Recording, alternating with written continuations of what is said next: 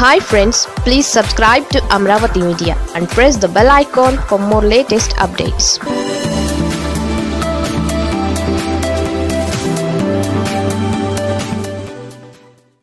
ఆట మొదలైంది.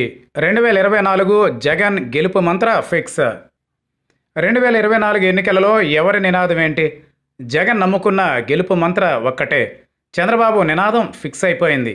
ఈ నినాదాలే రెండు వేల ఇరవై నాలుగు ఎన్నికలలో గెలుపు మంత్రంగా ఇద్దరు అధినేతలు భావిస్తున్నారు. ఏపీలో రెండు వేల ఇరవై నాలుగు ఎన్నికల దిశగా ముఖ్య నేతలు అడుగులు వేస్తున్నారు. సీఎం జగన్ ప్రతిపక్ష నేత చంద్రబాబు తమ కార్యాచరణ సిద్ధం చేసుకుంటున్నారు. దాదాపు ఎన్నికల షెడ్యూల్కు ఇంకా ఏడాదిన్నర సమయం ఉంది.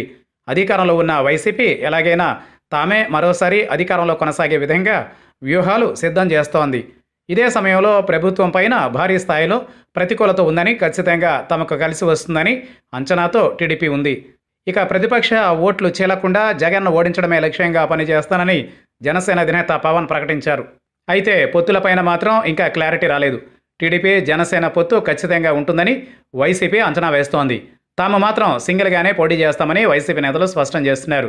రెండు వేల పంతొమ్మిది ఎన్నికల ముందు నుంచే నాటి ప్రతిపక్ష నేత జగన్ నాటి సీఎం చంద్రబాబు విశ్వసనీయత పైన దెబ్బకొట్టడంలో వ్యూహాత్మకంగా వ్యవహరించారు. రెండు వేల పద్నాలుగులో చంద్రబాబు ఇచ్చిన హామీలు అమలు చేయకపోవడం పైన ప్రధానంగా ప్రతి సభలోనూ ప్రచారం చేశారు. తన తండ్రి నుంచి తమకు విశ్వసనీయ వారసత్వంగా వచ్చిందని నమ్మించడంలో సక్సెస్ అయ్యారు. ఫలితంగా చంద్రబాబు పథకాలు పసుపు కుంకుమ రెండు వేల పంతొమ్మిది టీడీపీకి వర్కౌట్ కాలేదు. ఇక అధికారంలోకి వచ్చిన సమయం నుంచి జగన్ తాను చెప్పిన పథకాలు అమలు చేయకుంటే తాను చంద్రబాబు పైన చేసిన ప్రచారమే తన మీద చేసే అవకాశం ఉండడంతో ఎటువంటి పరిస్థితుల్లోనూ పథకాలు అమలు కొనసాగిస్తున్నారు. దీంతో టీడీపీ రాష్ట్ర ఆర్థిక పరిస్థితిని టార్గెట్ చేస్తోంది. జగన్ రాష్ట్రంలో డెవలప్మెంట్ వదిలేశారని శ్రీలంక పరిస్థితి తీసుకొస్తున్నారంటూ విమర్శలు చేస్తోంది. దీనిని ఇప్పుడు జగన్ తనకు అనుకూలంగా మలుచుకునే ప్రయత్నం చేస్తున్నారు. టీడీపీ విమర్శలు చూపిస్తూ ఇప్పుడు సీఎం జగన్ కొత్త నినాదం ఎత్తుకున్నారు.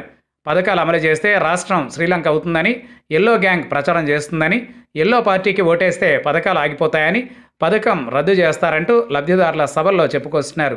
పథకాలు రద్దు చేస్తే మీరు ఒప్పుకుంటారంటూ వారి నుంచే సమాధానం రాబడుతున్నారు. దీంతో పాటుగా సెంటిమెంట్ జోడించి తాను చేస్తున్న పథకాలను వివరిస్తూ జగన్ మంచి చేస్తూ ఉంటే ఆశీర్వదించండి. మంచి చేయట్లేదని భావిస్తే ద్వేషించండి. అంతేగాని ఎల్లో పార్టీ నేతల ప్రచారం మాత్రం నమ్మకండి అంటూ సీఎం జగన్ చెబుతున్నారు.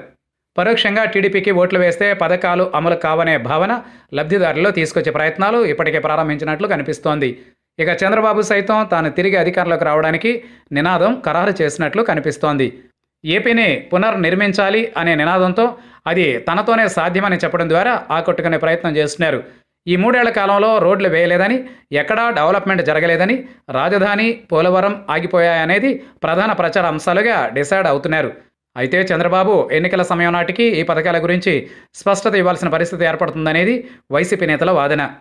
సీఎం జగన్కు డెవలప్మెంట్ పట్టడం లేదు పరిశ్రమలు లేవు ఉద్యోగ కల్పన లేదనే విమర్శలకు త్వరలోనే సమాధానాలు దొరుకుతాయని వైసీపీ నేతలు అంతర్గత చర్చల్లో చెబుతున్నారు.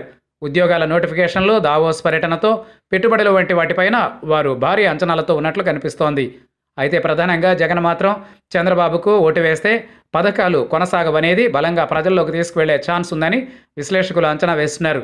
దీంతో వైసీపీ వర్సెస్ టీడీపీ ప్రధానంగా జగన్ వర్సెస్ చంద్రబాబు వ్యక్తిగతంగాను ఇద్దరికీ రెండు పార్టీలకు వచ్చే ఎన్నికలు రాజకీయ భవిష్యత్తును డిసైడ్ చేయనున్నాయి. దీంతో ఇప్పటి నుంచే ఇద్దరు నేతలు మైండ్ గేమ్ ప్రారంభించారు. మరి ఓటర్లు ఎటువైపు మొగ్గుతారనేది తేలాల్సి ఉంది.